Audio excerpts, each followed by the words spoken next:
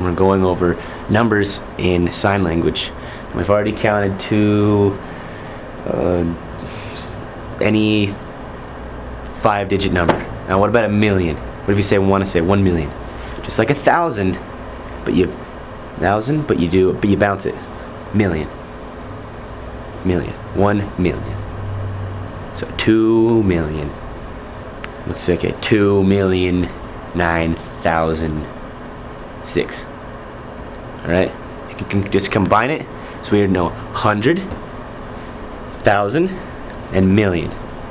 So let's go over. Uh, on this next video, we're gonna go over everything. But remember, hundred.